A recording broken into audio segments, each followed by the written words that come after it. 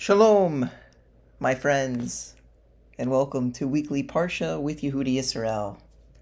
This week's Parsha is Bechukotai. This is mainly dealing with Leviticus chapter 26, and this is what is known as the Tochacha. We discussed the blessings and the curses that will befall Israel should they follow the Torah or should they not follow the Torah. What are the consequences of that? And this is sort of a mini version of what is later described in the book of Deuteronomy in more detail. Um, so this is dealing primarily with Leviticus chapter 26, which, if you've watched my other videos, I have been speaking about pretty frequently lately. This describes the formula for sin, how you deal with it during times of exile.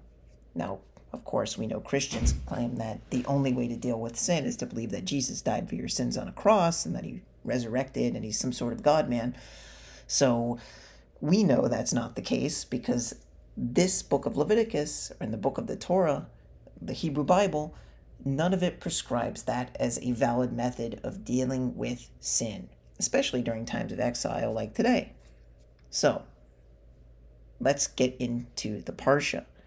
Says, If you follow my statutes and observe my commandments and perform them, I will give you your rains in their proper time. The land will yield its produce, and the tree in the field will give forth its fruit, and your threshing will last until vintage. So basically, saying all these wonderful things will happen if you keep the Torah, right? So following the Torah gives good things. And then it discusses, I will grant you peace in your land. You will lie down, no one will frighten you. I will remove wild beasts from the land, and no army will pass through your land. You will pursue your enemies, and they will fly with the sword before you. Five of you will pursue a hundred, and a hundred of you will pursue ten thousand. Your enemies will fall by the sword before you. So this can describe, I think, the best example of this would be during King Hezekiah's reign, when he didn't even lift a finger, said a prayer, and Israel was in such a great state of spirituality during that time, during Chizkiyahu HaMelech's reign, you know, King Hezekiah, that's probably the closest thing we ever had to the Messianic era described in the Tanakh, aside from maybe King Solomon's era. Um, but, you know, within the context of, you know, enemies attacking us and them being just absolutely obliterated. Um, and I will turn toward you and I will make you fruitful and increase you, and I will set up my covenant with you. So, a lot of benefits to following the Torah. You'll eat very old produce, and you will clear out the old for, for the new, and will place my dwelling in your midst. My spirit will not reject you, right? So it's talking about the Mishkan, or ultimately the temple. And I will walk among you, and I will be your God, and you will be my people. And I am the Lord, your God, who took you out of the land of Egypt. So it's just describing, you know, God taking us out of slavery and bringing us out, you know, ultimately to the land of Israel. But if you do not listen to me and do not perform all these commandments, so this is the where we're discussing the curses. And if you despise my statutes and reject my ordinances, not performing any of my commandments, whereby thereby breaking my covenant, then too I too will do the same to you in order upon you to shock and consumption, fever, diseases that cause hopeless and longing and depression. You will sow your seed in vain, and your enemies will eat it. So, a lot of horrible things will happen. I will set my attestation against you, and you will be smitten before your enemies. Your enemies will rule over you, and you will flee, but no one will be pursuing you. And if during these you will not listen to me, I will add another seven punishments for your sins. I will break the pride of your strength and make your skies like iron and your land like copper. Your strength will be expanded in vain, and your land will not yield its produce, neither will the tree of the earth give forth its fruit. So, all these horrible things. And if you treat me in happenstance and you do not wish to listen to me, I will add seven punishments corresponding to your sins. So, there's the rabbis describe kind of what that goes into. I will incite the wild beasts of the field against you, and they will bereave you, utterly destroy your livestock, and diminish you. Your roads will become desolate. And if these if through these you still will not be chastised to return to me, and if you continue to treat me in happenstance, then I too will treat you in happenstance.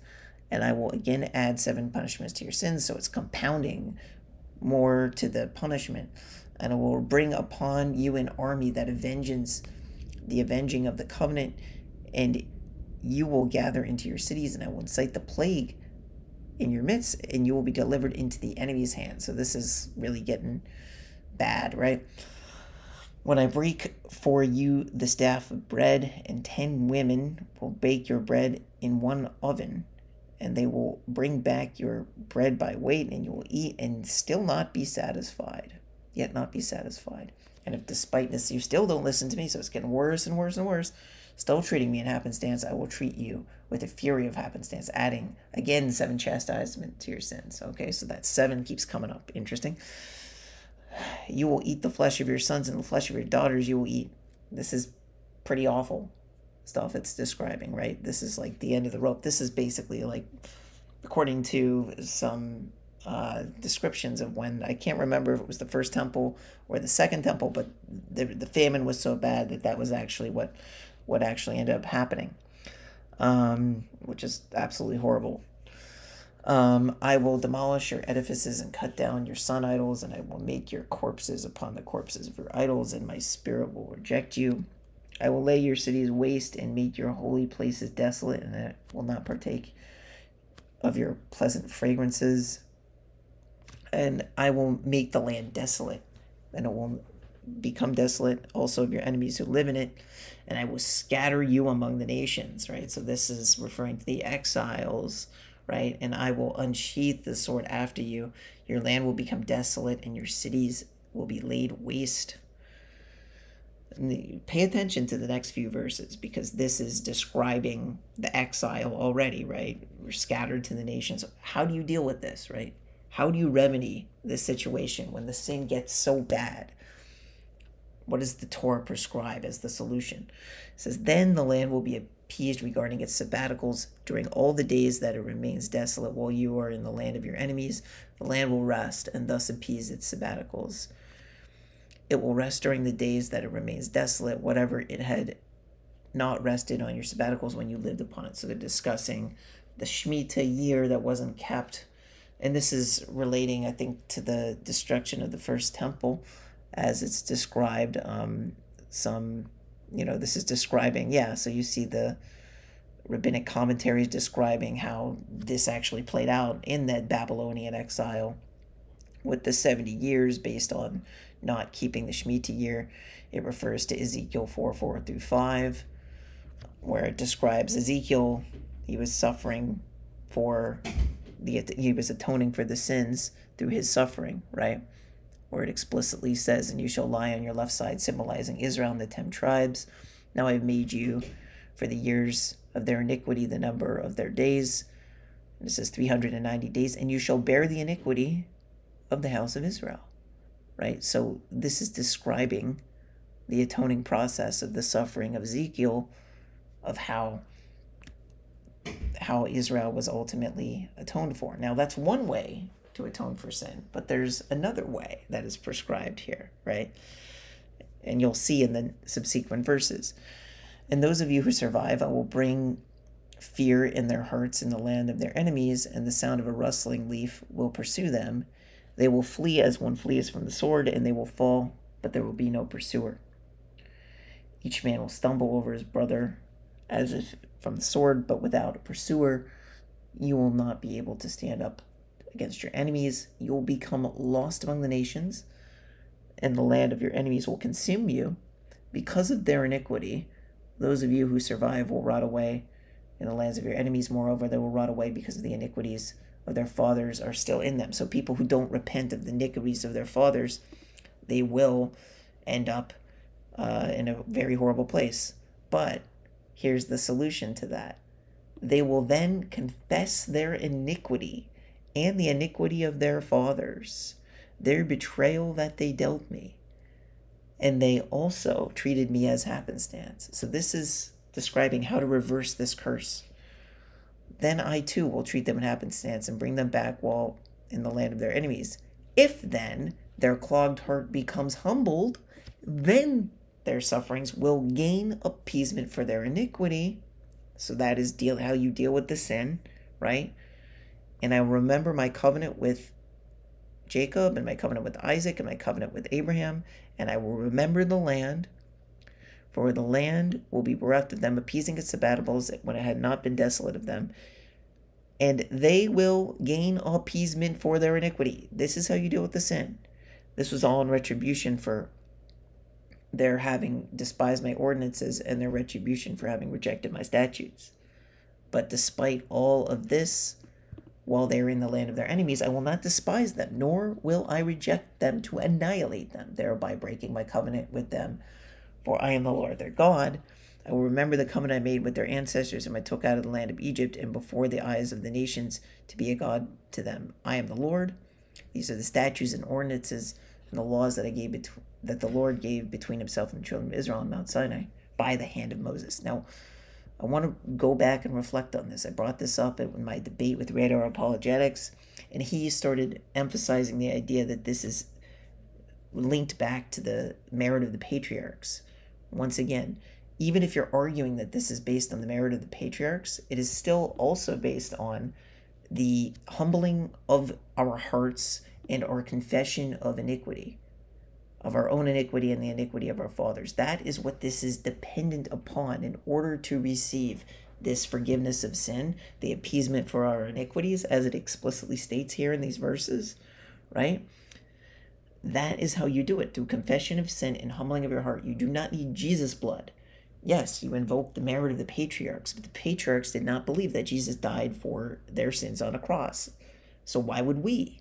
That's not the formula that God prescribes according to the Torah. So when I had my discussion with that Catholic Jewish person who was claiming that it's not sanctioned by Torah to, you know, use confession of sin and humbling of our heart as a means of dealing with sin and that you need a temple you need jesus to die for your sins on a cross of course you don't need that during times of exile. That's not what god expects of us. And nowhere does god ever prescribe jesus dying for your sins on a cross as a valid need you know as the only way to deal with sin right? You can say that the suffering of the righteous can atone for sin but not that it's exclusive to one person and that you have to believe in in that one person dying on a cross. No that that is not how the torah describes dealing with sin. Primarily what we do is confess our sins and we humble our hearts.